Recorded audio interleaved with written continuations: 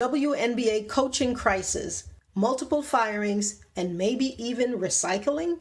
Hi, and welcome back to Davis Sports Report. If you haven't done so already, please subscribe to help us grow the channel and turn on notification to be updated as we drop new content. The recent wave of coaching changes in the WNBA has raised eyebrows, especially with teams letting go of head coaches early in their tenures despite dealing with injuries and rebuilding situations. Atlanta Dreams' Tanisha Wright was let go after three seasons, despite leading the team to two playoff appearances, including a 15 and 25 season that ended in a first round sweep.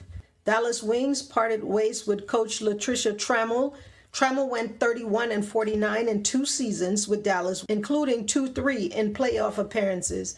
This past season, the team went 9 and 31 and missed the postseason for the first time since 2020. And in less than a week, the Dallas Wings have hired a new head coach, Brian Ighler.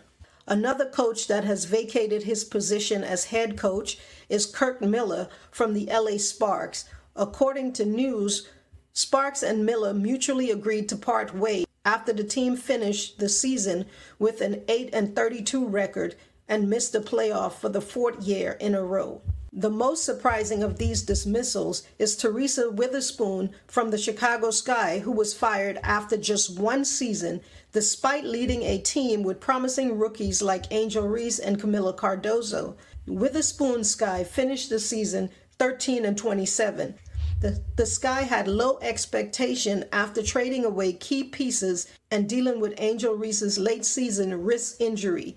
Still, management decided that it was time for a new direction, leaving fans and even Reese heartbroken by the news. Adding to the drama, rumors suggest that the Sky might pursue Curt Miller the former coach of LA Sparks, who was also fired after a dismal season. The Spark ended the 2024 season with the worst record in the league, leaving many questioning if teams are cycling through coaches too quickly without addressing deeper roster or organizational issues. With the WNBA viewership and attendance on the rise, the pressure on coaches to deliver results quickly is intensifying. Owners seem less patient opting for quick turnarounds rather than long term rebuilds. This carousel of head coaches could very well become the new normal, with teams looking for immediate success in a highly scrutinized environment. This coaching drama is emblematic of the league's coaching pains